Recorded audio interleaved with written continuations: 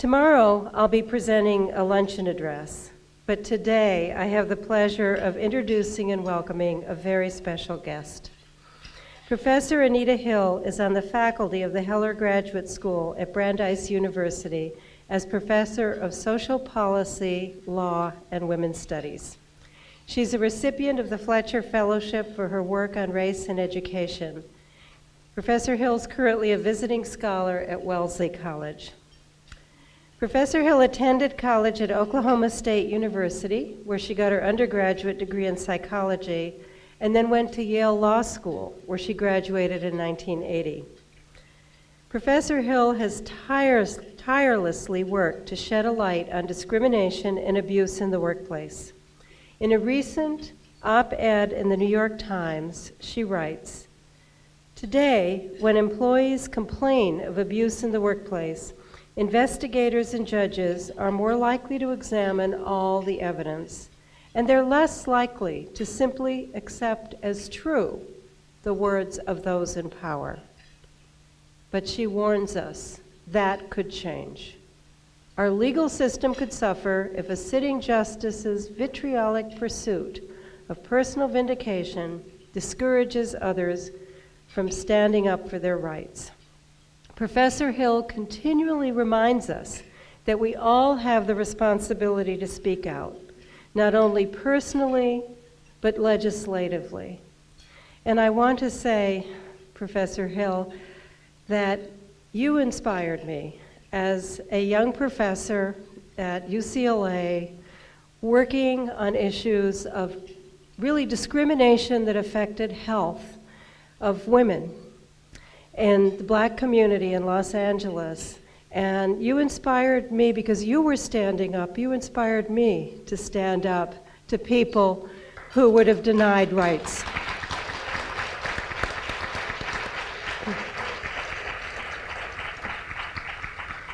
And as the applause shows, that's an inspiration. It's, I, I can I honestly can say that it's touched everyone in this room, and it goes on touching us. And now we have the chance to be inspired by you in person. So it's my deepest pleasure to welcome you here today.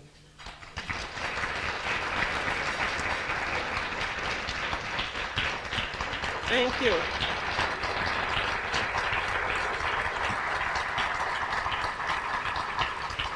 Good afternoon. Thank you so much. Thank you, uh, President, Madam President. I like that.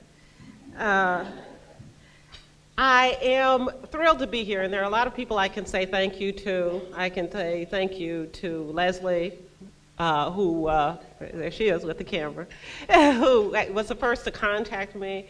Uh, there are many people, Julie, who was, uh, who was in the events program, uh, programming events office. Uh, Alicia, you know, I am looking forward to retiring one day, and I know things are going to be in good hands uh, with Alicia. And I want to say hello and thank you to my friend Deb Taft. Deb and I have been working together. She's just new at Simmons. Now, she's not really new at Simmons. She's been here at Simmons, graduated from Simmons, and now she's back, and I know you're very happy to have her here. So, enjoy your lunch. I have a, a bit to say, but I'm gonna, I, I understand there's going to be a question and answer time at the end. Uh, so let me get started. Go ahead and eat. And, um, and if I say something uh, that interrupts your meal, just stop for a moment and you can keep eating. Now, the theme of the, the uh, address that I'm giving is uh, past, present, and future. Past, present, and future for us. So I'm going to start talking a little bit about the past, but I'm not going to go too far back to the past. I know that there were some people here from the class of 60, from the 60s. Were, were there some graduates here from yes, that's right. So I'm going to go back at, to the 60s. And I want to read you something. I know you don't like, people don't like to be read to, but I'm going to read something to you. Uh, that is a quote from an official docu document of our government. And it reads, in essence, it's from 1965. In essence, the Negro community has been forced into a matriarchal structure, which, because it is so out of line with the rest of the American society, seriously retards the progress of the group as a whole. and imposes a crushing burden on the Negro male in and in consequence on a great many Negro women as well. Ours is a society which presumes male leadership in private and public affairs. The arrangements of society facilitate such leadership and reward it. A subculture, like the black community, such as that of the Negro American, in which this is not the pattern, is placed at a distinct disadvantage. Now, many of you may recognize some of this language. It's from the 1965 United States Department of Labor uh, report called The Negro Family The Case for National Action, known as the Moynihan Report. And so, in looking back at the past, I really wanted to go back and look at the Moynihan Report and some of the things that the Moynihan Report said, in, because, in effect, uh, the Moynihan report had something to say about black community in general, but black women in particular. Uh, in 1965, in Daniel Patrick Moynihan's America, there was only patriarchy, in which men dominated, or matriarchy, in which women dominated.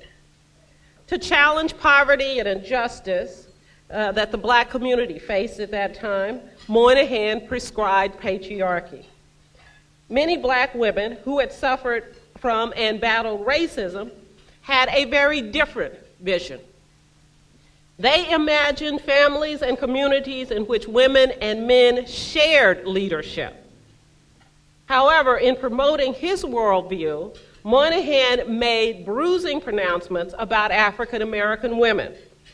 And I believe that those pronouncements stain the public consciousness even today. Yet, despite this public shunning, African American women continue then and continue today to believe in and work toward bringing themselves and their families ever closer to the American dream of equality. As the makeup of all American households began to look more like, a, like the single parent black family Moynihan observed, the lessons of black women's achievements is, are in fact critical. Moreover, as the American public takes one more turn at challenging the racial divide, we must demand that black women be seen, heard, and recognized for the leadership and insight we offer. We, we must call for a new and different conversation on race and gender in America and begin that conversation in places where our ideas are both both are, on both are formed, which is in our homes, our schools, our workplaces, and our places of worship. Again, Daniel Patrick Moynihan was looking at poverty in 1965 when he wrote his report. But he, what he did was to declare that black matriarchy had thrown the Negro family into a state of crisis that imperiled all of America. He prescribed deliberate and immediate government intervention to put black men back to work and back in charge of their homes and communities.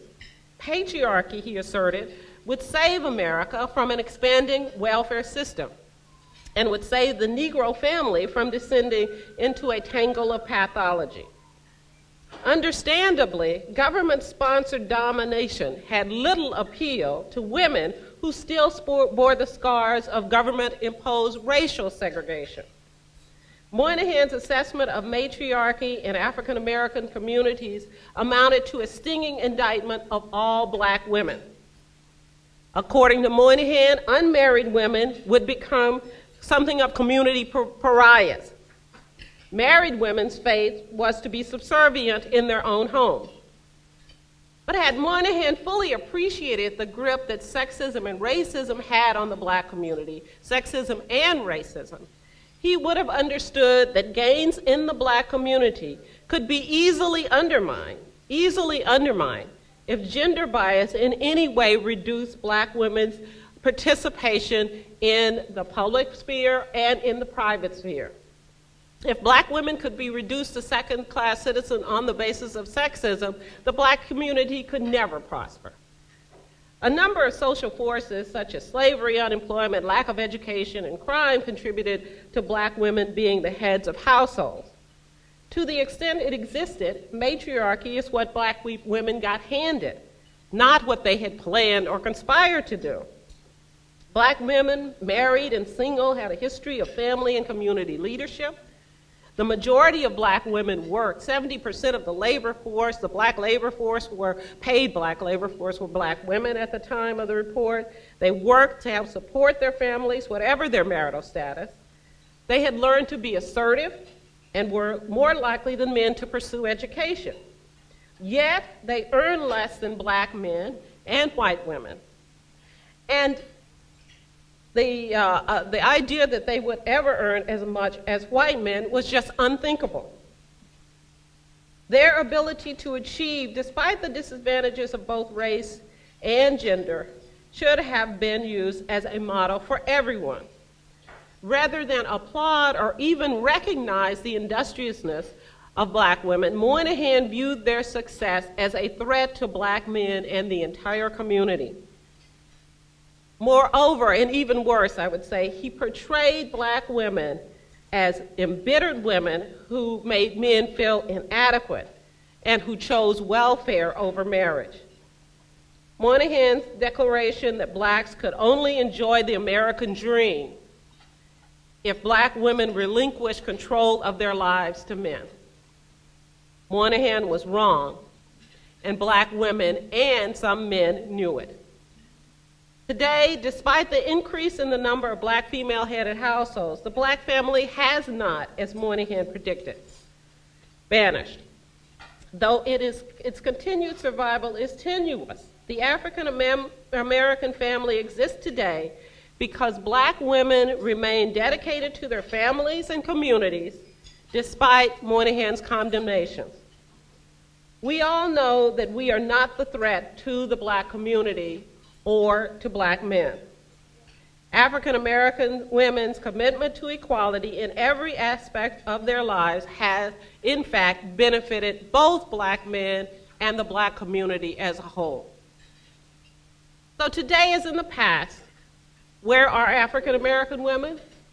Well, they're working, they're sending their children to school, they're buying houses, they're keeping churches in their neighborhoods open and functioning. They serve as community leaders in places plagued by crime, failing schools, environmental hazards, and disease. They work and serve as leaders in the business and in not for profit. Black women are neither the overbearing shrews of the Moynihan Report, nor Ronald Reagan's lazy cheats, nor Bill Clinton's irresponsible freeloaders. And most importantly, we are not Don Imus's nappy headed hoes. Nor,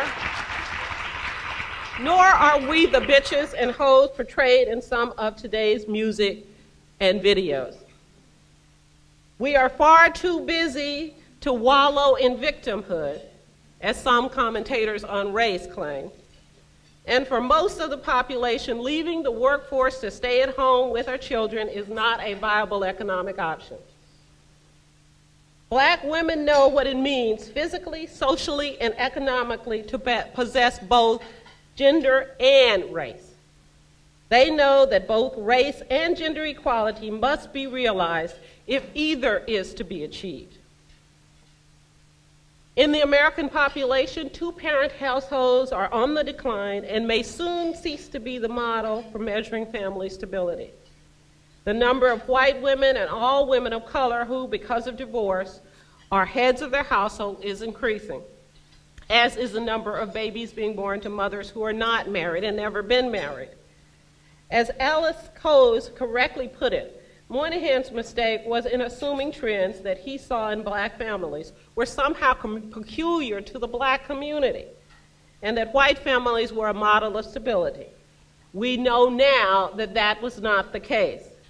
But Cose, a black journalist who writes about race and often gets it right, failed to give African American women credit for persevering in spite of Moynihan's pessimistic assessments.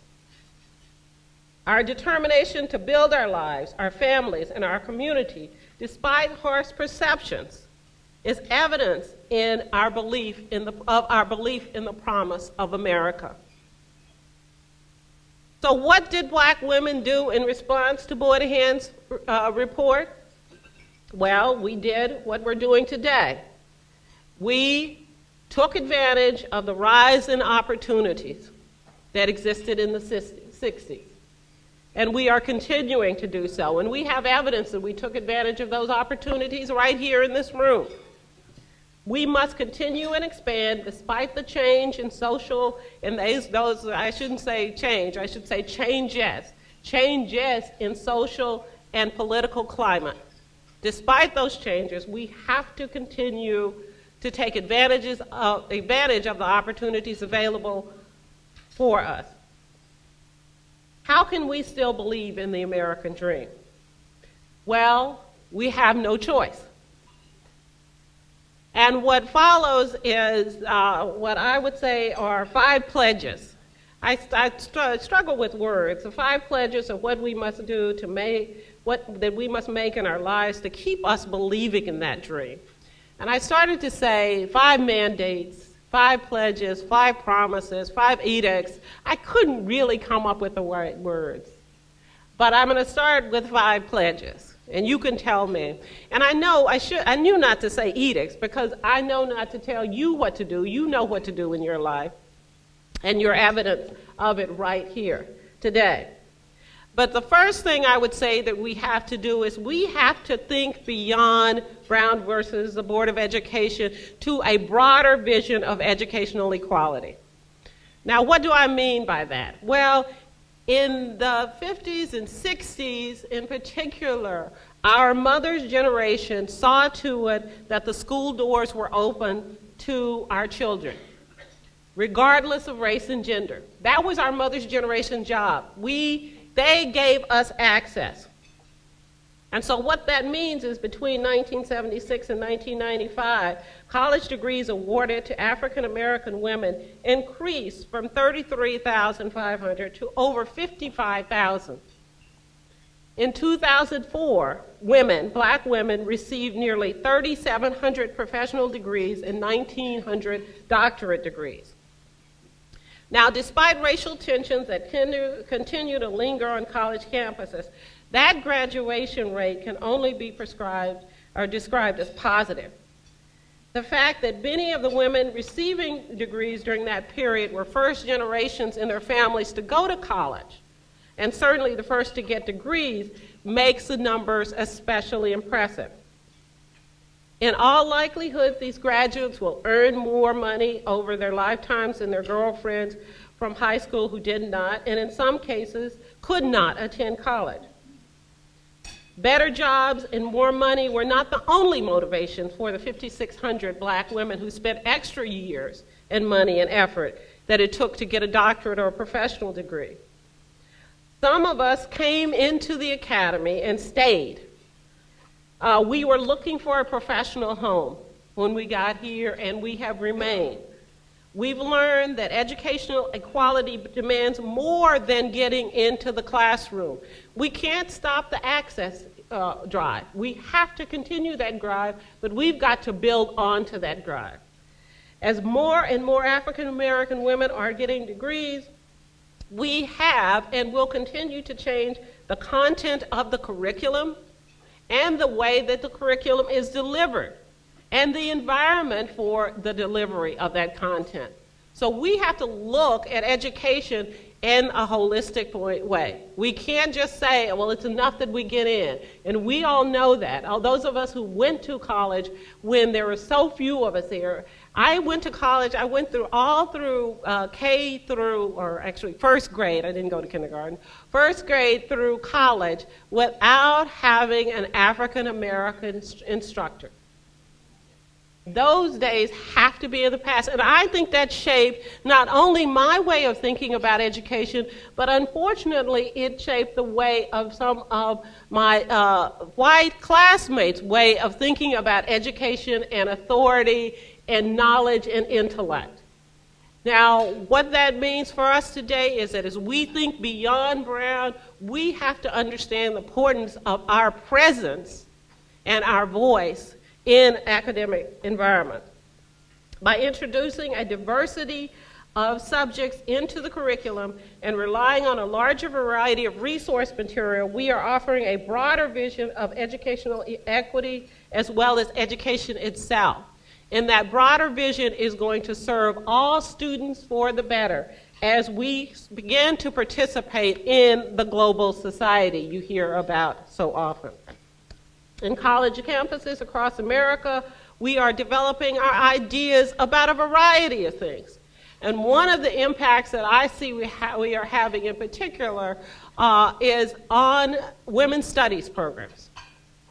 Uh, and I believe that our ideas are going to have a profound influence on what we call feminism today.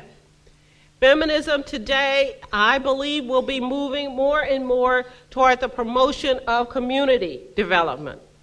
Ideas that uh, the idea of feminism based on community development is based on the, our knowledge that liberation depends on the elimination of both sexism and racism at the very least. As poet, activist Audre Lorde put it, without community, there is no liberation.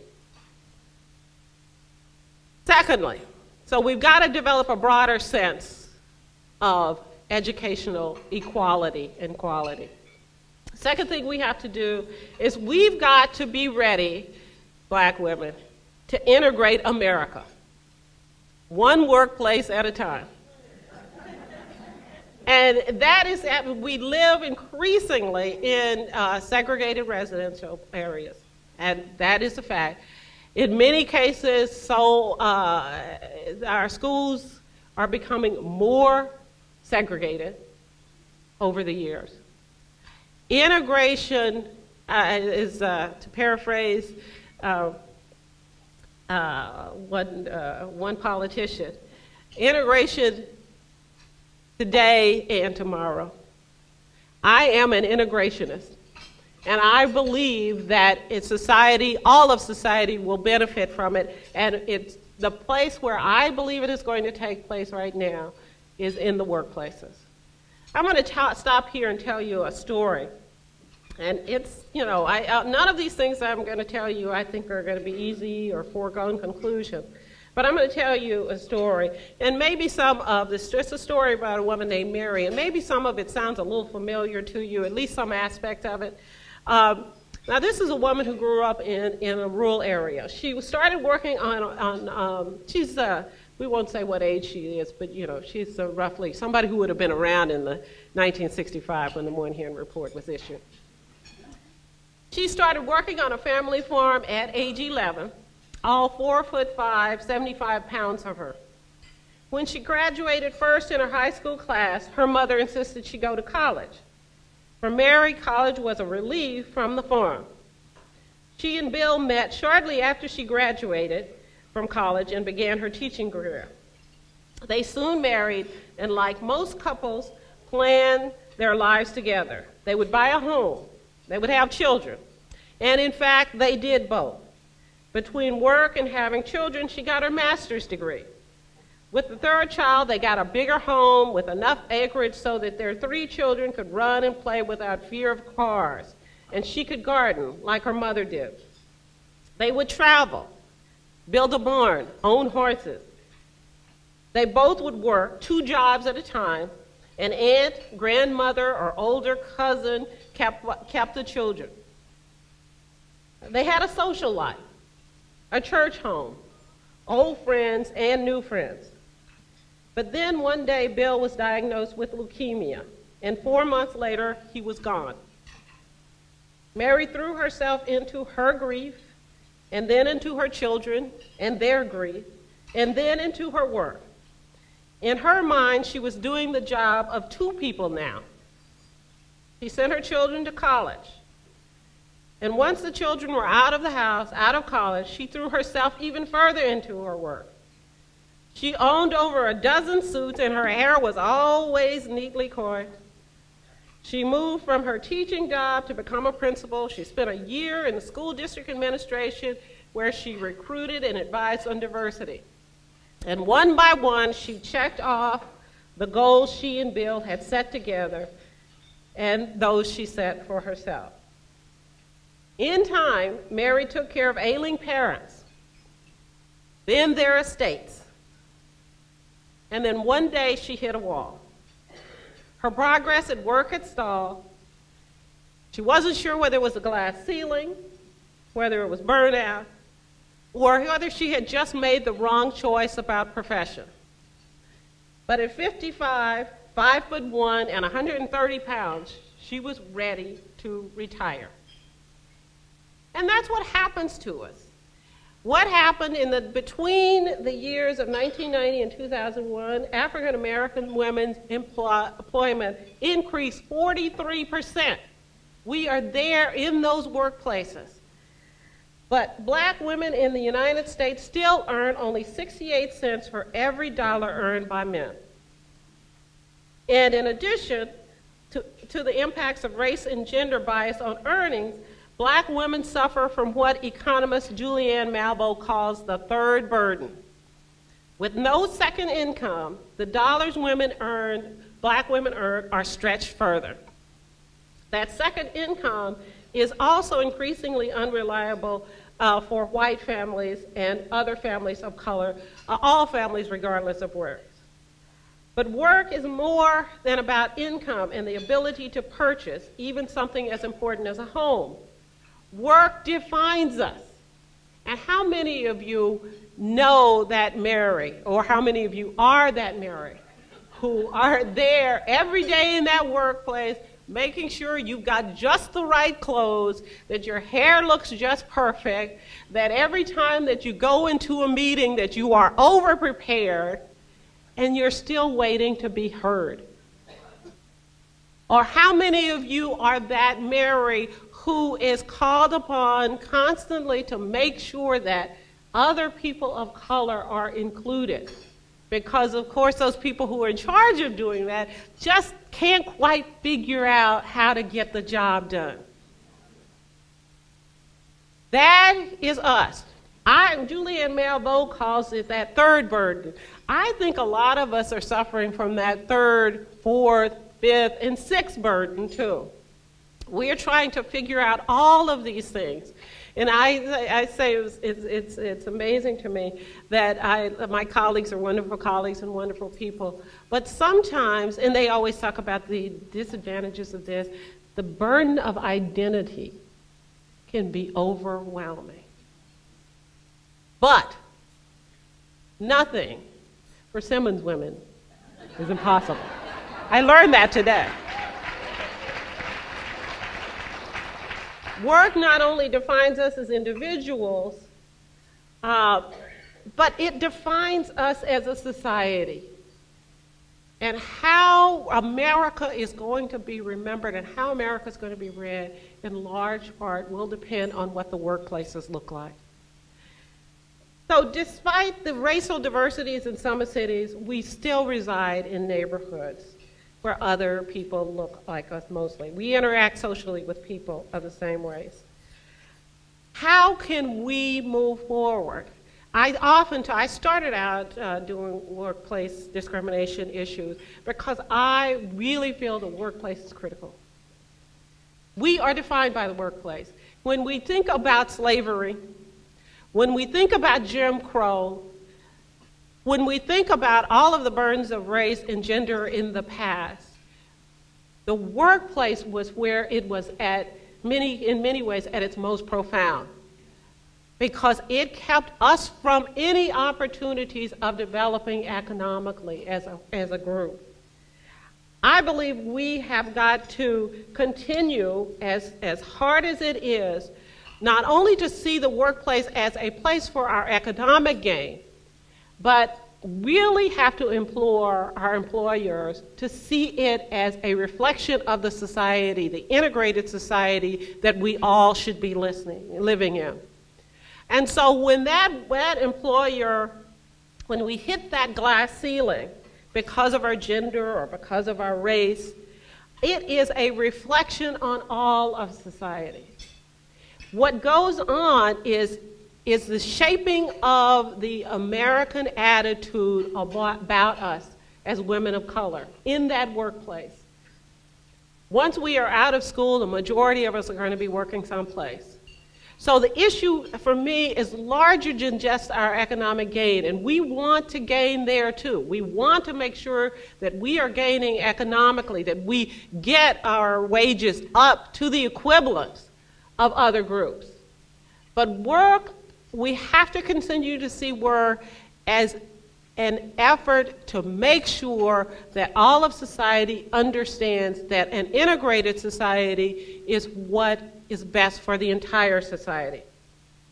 In examining the role uh, employment plays in social integration and networking for African American women and their families, I present a challenge to employers to ensure that black women achieve their potential in the workplace. But I also challenge black women to look in different arenas for employment. Different arenas, not that are inconsistent with maintaining our identity, but also in arenas where we can best be assured of success and success and, uh, and promotion. Uh, one of the things that I, I, quoted you that figure about the increase in, in uh, the percentage of women working, uh, African American women in the employment arena. One of the things that is telling about that is that the majority of those increases came in the healthcare arena. And, the, and now there's nothing wrong with the healthcare arena. But I think we need to start looking at, at is the healthcare arena a good place for promotion and social integration and networking? And I would argue that it's not for two reasons. One, the structure of most healthcare facilities is pretty limited in terms of promotion. If you're talking about uh, hospitals, for example, the, the, the, uh, the hospitals are run primarily for and by doctors. And unless you're in that medical area, there are going to be limitations on what you can do there. I think what we have to do, again, I'm not saying anything bad about hospitals or that you shouldn't work in hospitals because we need you in hospitals, trust me. We need you in healthcare. We need you everywhere. But we need to also evaluate where we're sending our students in terms of what is going to be their best opportunities, what fields, what profession, what arenas are going to be best for them in terms of promotion and advancement. Uh, that is the way we're going to change our workplace cultures. We're going to have to get into those cultures, and we're going to have to be able to advance into leadership roles in those cultures. The third thing we're going to have to do is to secure our own safe haven. And I say we've done a good job of this. There was, uh, we, and what do I mean by that? Our own safe haven, I'm talking about our family homes. And there are a variety of ways that we need to secure our family homes. And I think that this is the one area where we have got to have political leadership that is willing to help us. We are, I'm not just talking about what goes on within the home in terms of our safe haven. I'm talking about what goes on in the streets in our neighborhoods. And if we don't have law enforcement, mayors, local and state governments that are able to help us provide those safe homes and neighborhoods, we need to get new uh, officials. Those safe havens are critical to our advancement. The other aspect of that is, of course, this, this setback that we have had recently in um, the home mortgage arena. Uh, the really telling thing about uh, the, the good news about black women over the last decade or two was that our rate of home ownership was increasing. Increasing dramatically. There was a time when only couples bought homes. But uh, in the last two decades in particular, the number of, of, of factors uh, cultural factors have fueled a passion for home ownership among single black women. What happened with the subprime lending industry was that regardless of income, a lot of blacks, and particularly a lot of black women, were charged subprime rates when they qualified for uh, regular rates. And we don't, you know, you don't have to do anything but open up a paper in, on any given day to know how the subprime rate crisis and the, the mortgage crisis has impacted African American communities. What you may not know, or what those stories may not tell you, is that the impact in the communities have been uh, largely on African American women because they were making up the biggest portion of those new home buyers. And so we are at a crisis state. Now, what does that mean? Now, this is where we need uh, uh, a couple of things. The important thing now is that we have some way of helping those communities. And I know our state and local officials have, in fact, um, come up with some plans for you know, some kind of buyouts of those homes that have been foreclosed on. But we need to go back and examine the national policies that encouraged the crisis to start with. And we need to go back and look at the leadership that allowed that crisis to take place and some of the policies. Everyone says now, in, in retrospect, we were so busy trying to encourage home ownership, and we thought that was such a good thing. But no one is taking, on a national level, very few people are taking responsibility for the role that the government played in allowing the subprime crisis to take hold in poor African American communities and middle class African American communities. Yet, when you talk to candidates, uh, when you talk to the presidential candidates, or even when the presidential candidates talk about these issues, they rarely talk about subprime lending. We have to hold our leaders accountable for this because we have to know how we're going to move into the future. We're not simply talking about homes, individual homes. We're talking about the economic base of an entire community. That's where most of our uh, equity, that's where most of what we have for value is in our homes. There has got to be a comprehensive policy that helps us find those safe homes in the communities where we want to live, as well as provides us the sanctity and security that we need in those communities. The work has to take place on two, on two fronts. Uh, now, what are the alternatives for African American women today? Uh, unfortunately, with the crisis as it is in some of our communities, one of the choices is for us, if we want to have that home that increases in value, that is safe, the choice is for us to buy outside of the African American, traditional African American communities. That is a choice. And no one would say it's a, a, reasonable choice. If you want to talk about accumulation of wealth, that is one of the places where wealth will best accumulate. And I wouldn't fault you for doing that. That's what I've done. But I would say that as we do that, we also have to hold our politicians accountable for making sure that those African American communities can sustain the value of the homes that are there. And that's a big policy question that is going to take years and years of work and years and years of our consideration. The fourth thing that I think we have to do is we have to participate in what I call saving the community's soul. On any given Sunday morning in any African American church or what's called traditional black churches, women occupy two out of three seats. Maybe more, you say? Where the struggle for the soul of the community is at stake, women must participate as leaders leaders in the churches. Now, I know there's been some religious re- rejection of the idea of women as leaders, but I only believe that if, if women, uh, only if women can come on as leaders in the church, where they live, where they worship, whatever form of worship is, only can then, only then can the church actually define adequately the role that it's going to play in our communities.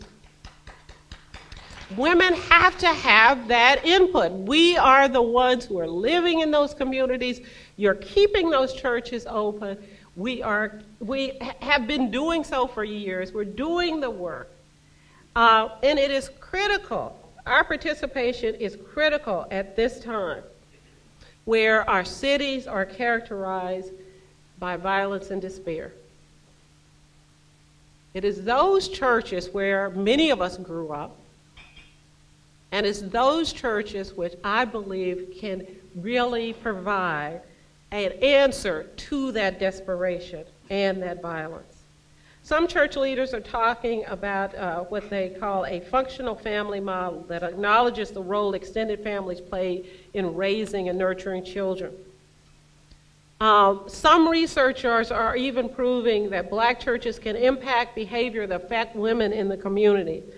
Uh, for example, showing that religious involvement, specifically church attendance, protects against domestic violence, and that this protective effect is stronger for African American men and women who experience higher rates, higher rates of reported domestic violence. Programs sponsored by black churches have also been shown to play positively in helping women kick cocaine and nicotine addiction. However, we also have to look at the history of sexism in the church. And we have to ask ourselves whether the church involvement, as it has stood historically in defining manhood, is actually good for women and for the community, and how it could be better. How can the church be better? at helping us work through these issues of violence in our homes and in our communities. How can we use the church to give us models for what it means to be a man in this uh, century? You know, it's, it's interesting for some of you, some of us who grew up in the civil rights era or came of age in the civil rights era uh, we always thought of the church as the largest influence in the community. We are in danger of that changing. And whether it's what you, what you want to call the prison culture or pop culture, that is changing. How can we get that back? Through shared leadership in the church. And that shared leadership means women. We have to take back our images. The fifth thing, we got to get them back. C. Dolores Tucker, an African American woman, publicly complained about sex and violence in hip hop lyrics in, the, in, I believe, in the 1980s. Uh, and a lot of the artists dismissed her as being a prude. Others denounced her as being anti black and an enemy of free expression. The point that Tucker raised, and in which the black artists avoid uh, uh, discussing, is that there is racism, not just sexism, but there is racism in the way that black women are portrayed in music videos. And I suggest to you that the racism not only is with the artist, but is also the production. Uh, it seems to me that there would be a very different response from producers if black artists, artists were rapping and portrayed white women in their videos. The producers would, I believe, respond very differently if you said to them, let's put your daughter in the videos. So, in addition to what is happening in terms of promoting sexism, I don't think the artists ever come to terms with the fact that they are also promoting racism by using black women's bodies and images in the way that they do. When Don Imus, the talk show host, called the women on the Rutgers team, uh, the, the, phrase that he used, uh, the issue of negative imagery of African American women in popular culture could no longer be easily dismissed. They dismissed C. Dolores Tucker, but we had to come to terms with it when Imus made his statement. The most impressive response to Imus's, the Imus incident was a market response, I think, where uh, consumers, advertisers, uh, financial markets all sort of came together on this issue and said, look, uh, we've got to at least make a statement about this. The, also, the important thing was that we found out how few or how little control uh, African American women had over the content of marketing of our images in, uh, in popular culture.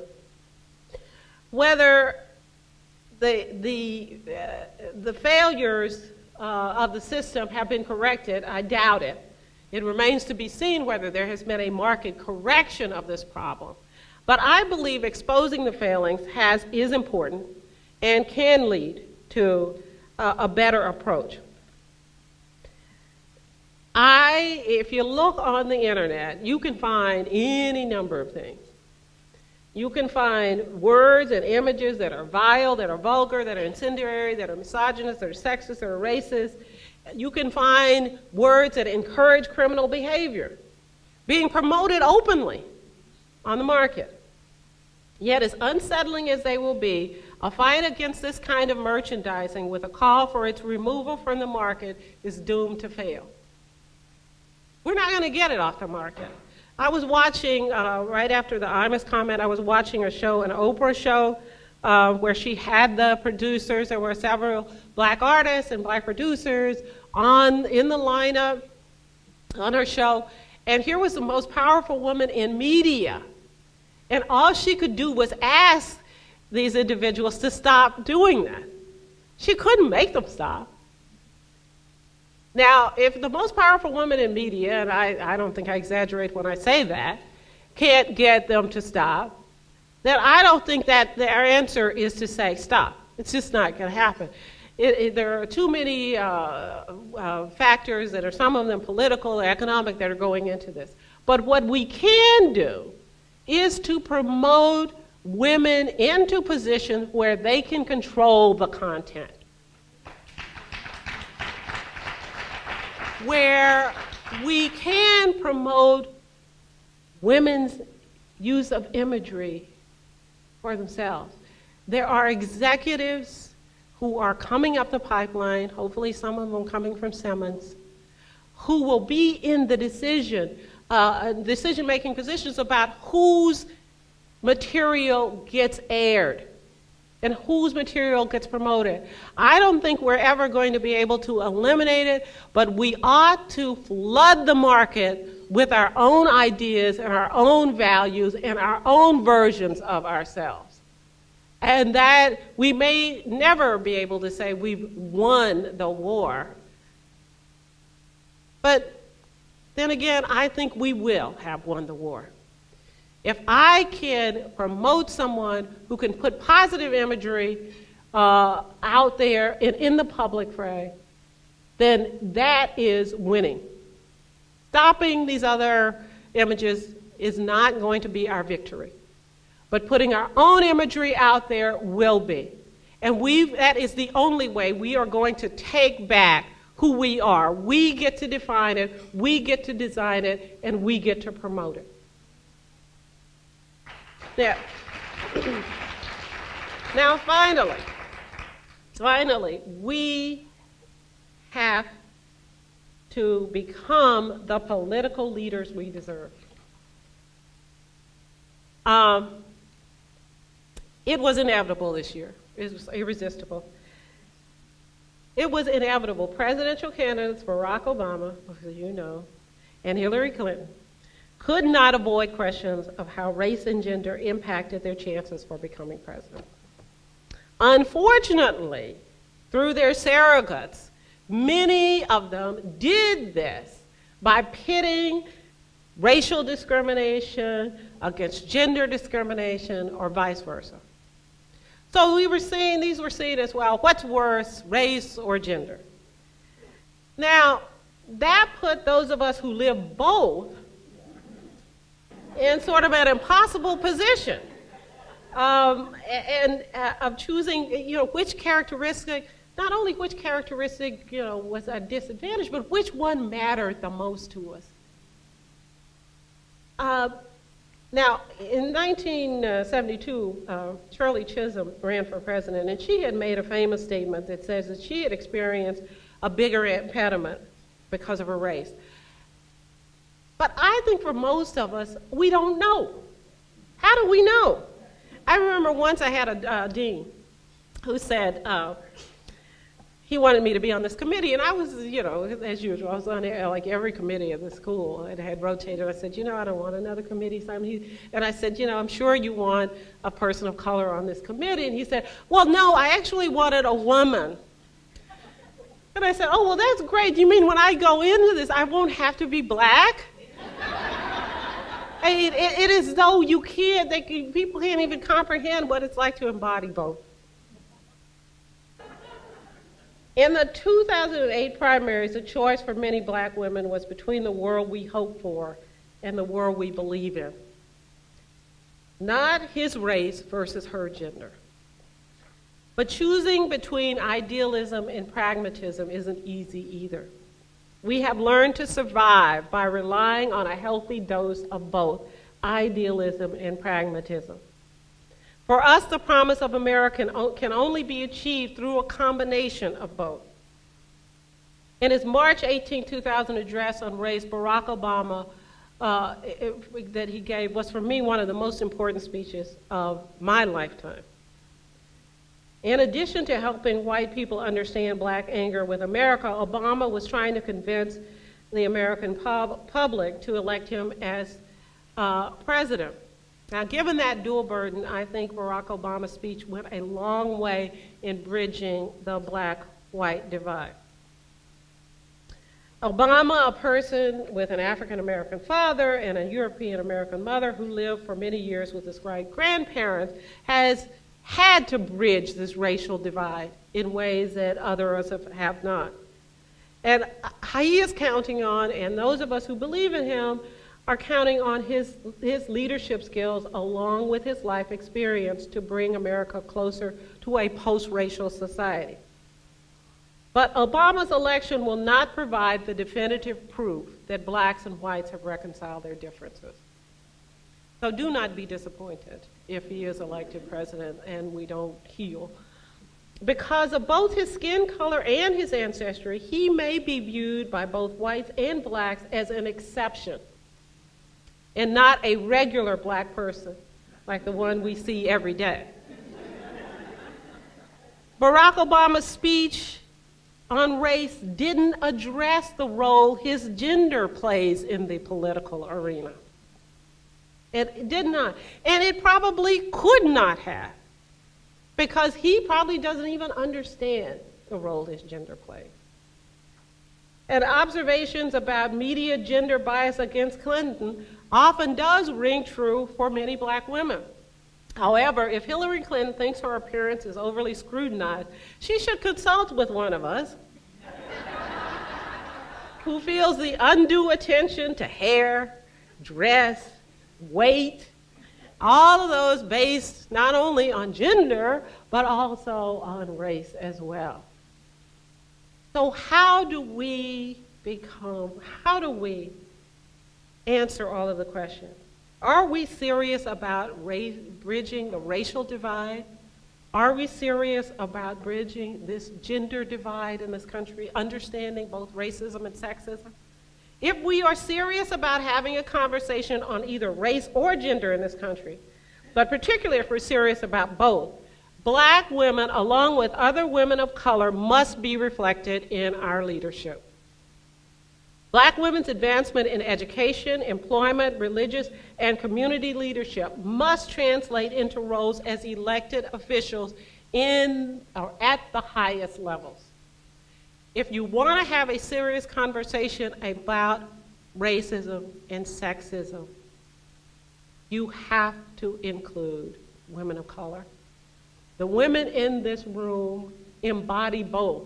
And they, like no one else, can have that conversation without having the two competing with each other as to which one is the worst. So, where is that American dream today? As an African American woman, I talk about African American women's experiences not to divide us, not to divide us or to say that we are uh, entirely unlike everyone else, or to say we are victims. But I believe our stories speak to the hopes of all America, all Americans. We long to educate our children, to own homes and feel safe and secure in them, to be members of loving, caring families, to worship and honor the faith of our choices, and to be leaders in all these arenas, whether it's family, community, or in public life. In 2008, I am privileged to teach and witness the coming of age of a generation that seeks to move beyond historic race and gender divisions. I don't think we quite know how. But I know that for them, moving beyond these divisions means something that is, involves including. As my generation moves forward, we must leave the next one with guidance for achieving a truly inclusive America. And I'm not talking about just a tolerant America. I'm talking about an inclusive America. To do so, black women must claim our full citizenship. And we must insist, insist on a vision of equality. We must insist on a vision of equality that includes our voices, our lives, and our values. And one day, one day, the country will fully hear us.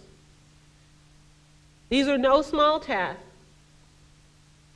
And I don't think that we can do it alone without government help, without public policy help, without the help of well meaning men. These are no small tasks, but as the song says, nobody told us the road would be easy.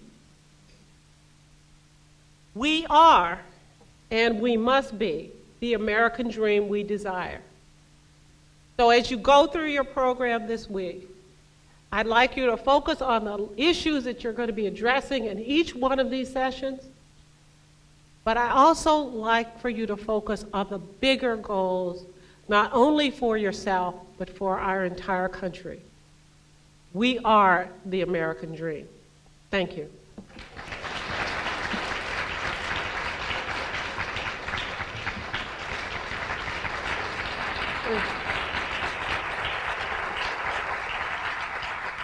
Thank you.